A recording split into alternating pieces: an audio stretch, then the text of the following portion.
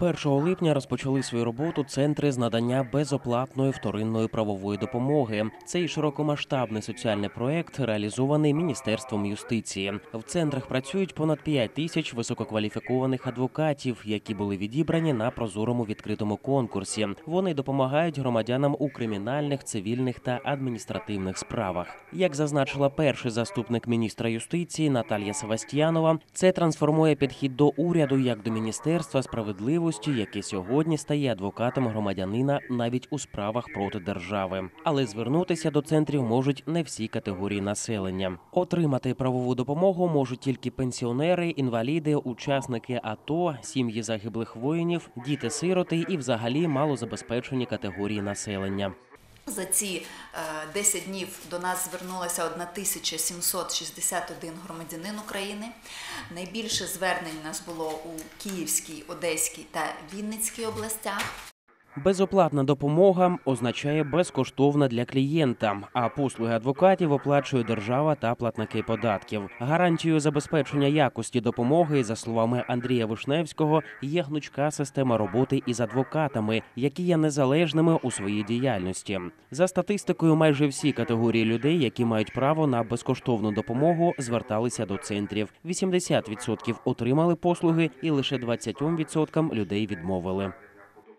Стосовно е, вікової структури, то е, близько половини всіх е, людей, які за ці 7 днів звернулися до нас, це особи від 35 до 60 років. Близько 40% це особи віком понад 40 років. І молодь до 35 років це близько 13%. За словами адвоката центру Максима Герасько, ще поки рано робити якісь висновки, бо минуло тільки кілька днів зі старту проекта. Але на цей час є дуже великий попит людей, і майже всі залишаються задоволеними. Незадоволені тільки ті, яким відмовляють. Це люди, які не потрапляють до певної категорії безкоштовного обслуговування. Вона е, повинна зібрати перелік документів необхідних, е, за допомогою яких е,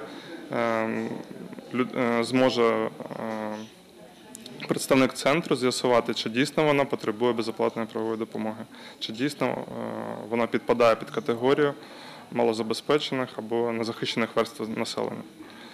Е, Потім е, е, представник центру з'ясовує її питання.